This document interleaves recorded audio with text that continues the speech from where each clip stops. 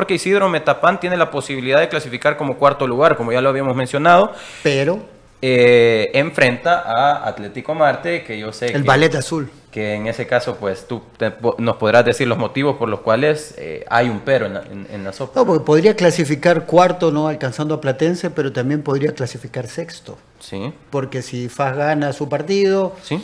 le, le- le daría una mano y, y Metapan no gana su partido, podría perder eh, su posición, ¿no? Solo los, los separa un punto de diferencia entre los dos. Pero hay posibilidades de que Marte vaya a, Metapán, y te lo digo para que me lo digas objetivamente, no con el corazón y... No, no, y co- conociendo la gente que maneja alguno del tipo del equipo, eh, conociendo la actitud eh, de, de, profe Ancheta sobre todo, hoy por hoy Marte ¿Sí? comparte el último lugar de la tabla. ¿Sí? Entonces, terminar último en la tabla es algo que para tu currículum no sirve. Y hablamos de los últimos cinco partidos de Marte. Sí, salvaste la categoría, tuviste algunos buenos Sí. partidos, promoviste jóvenes, pero salir último no es nada bueno para tu currículum, sobre todo si la apuesta era clasificar. Y estuvo hace dos fechas atrás, estuvo a punto de, de- de- de afianzar su clasificación y no lo pudo hacer. Y Limeño fue quien lo separa, porque esos seis puntos que perdió contra Limeño, tanto de local como de visitante, son los que los separa de... de- Entonces, cuando vos argumentás o vas a hablar con el directivo, te dije, lo, lo primero que te dicen es perdiste los dos partidos contra el equipo que descendió. Así es. Y nadie más hizo eso, solo Atlético Marte. Entonces creo que es una cuestión más moral, entre comillas, más moral que otra cosa. ¿no? Cerrar el año bien y tener un argumento más como para decir que la temporada no fue tan mala. Son los últimos cinco partidos, Marte no ha podido ganar. Sí, yo, yo sé que Lisandro es mucho más crudo. Sí, no, hombre, ese está, vos estás, este, De político. eh, por eso has venido de azul, fíjate.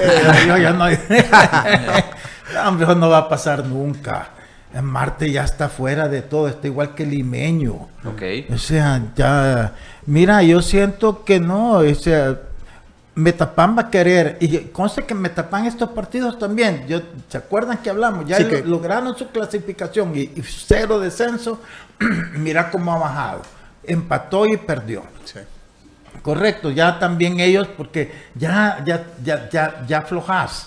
Y yo siento que ya aflojó dos partidos. Este no lo va a aflojar. Cierran en casa, quieren tratar de ver si garan- logran esa cuarta posición, que es una posibilidad. Acordate que esa cuarta posición te dan la oportunidad de cerrar en De casa. local. Y eso siempre es importante, más en los estadios así como, como el de Metapán, que pesa la localía porque le- en- no están acostumbrados a la cancha por las dimensiones, aunque un poquito mayor, más joven que antes, pero igual la grama que es muy buena. Sí. Y entonces para equipos que no tienen ese tipo de condiciones es, eh, es, es dificulta. Entonces cerrar en casa para Metamán es importante. Eh, bueno, no es que haya querido yo dejar este tema para el último bloque, no, No, es que te iba quiera- a dejar yo de todos modos. Es más, por eso es que... Por la ansiedad. Para dejarle los últimos 20 Sí, minutos. sí, ahí. sí. Por- quizá por la ansiedad que tengo, eh, quiero tocar poco el tema, pero eh, quiero también mandar un saludo a nuestro amigo Christopher Galeas.